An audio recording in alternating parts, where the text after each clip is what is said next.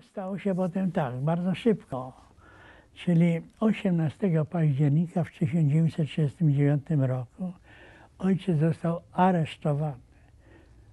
Przyszły trzy osoby, jeden żandarm niemiecki, jeden w mundurze SS-mana w czarnym mundurze i jeden cywil. Jak już weszli, ojciec był wówczas w biurze młyńskim. Jak e, weszli do tego biura, to jeden z Niemców zapytał, gdzie jest ten Führer Gostynia. A dlaczego tak powiedział? Führer, ponieważ ojciec był, bardzo zajmował się, był polityczny, politykiem, był prezesem Stronnictwa Narodowego, w Gostyniu był, był również w, tak zwanym Soku, to był gimnastyczny zespół miasta i w różnych, w różnych instytucjach.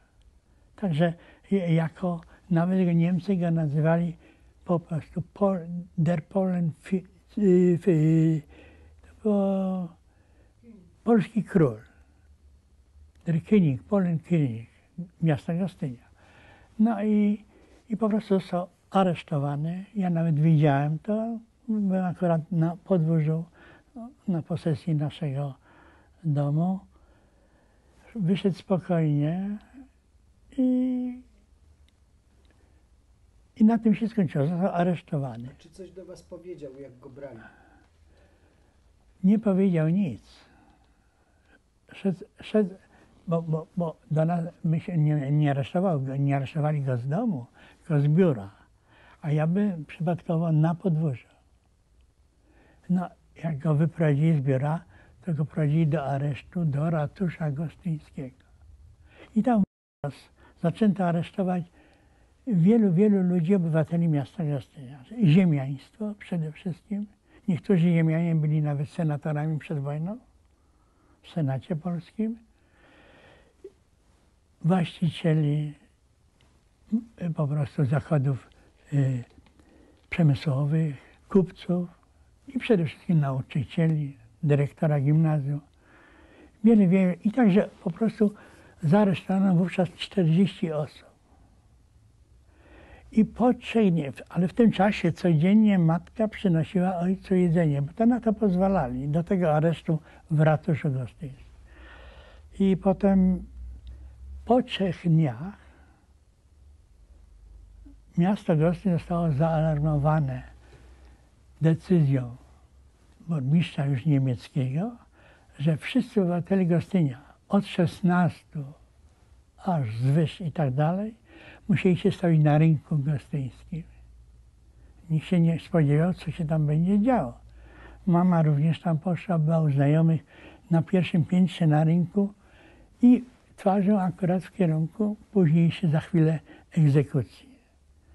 No i w tym czasie po prostu szok był, ale jeszcze nie było wiadomo, co się dzieje. Ale z chwilą wybicia godziny 10 akurat na tym, na zegarze ratusza, nagle wyprowadzono pierwszą dziesiątkę, ale jeszcze przed tym Niemcy zbudowali ścianę z, z piasku, worki z piaskiem i tak dalej, że taką, że, że to była ściana po prostu do wykonania egzekucji na rynku publicznie. Natomiast cały rynek był obstawiony wojskiem Wehrmachtem. Yy, Na wszystkich narożnikach tego rynku były karabiny maszynowe i tak dalej, a w środku znaleźli się wszyscy obywatele gostyńcy, ci spędzeni tam na to egzekucję. No i w pierwszej, w tym momencie wyprowadzono 10 ludzi. Niemcy jedni stali, drugi, drudzy kręczeli, ta cała pluton egzekucyjny. Padł rozkaz, e, musieli podać, ręce do góry podnieść, ale byli z tyłu, nie, stali tyłem do luf karabinowych. To tak jest. I, no, I to była jedna dziesiątka, ale jeszcze przedtem prawdopodobnie wyczytano im wyrok. Bo przyjechał razem e, z plutonem egzekucyjnym z Poznania. Przyjechał również prokurator i sędzia. I wyrok odbywał się dla tych ludzi mniej więcej w przeciągu 15 minut. Do tej pierwszej dziesiątki rozstrzelano. Potem ich wyprowadzono, patrzał, padli i za chwilę po prostu wszyscy byli kompletnie szokowani.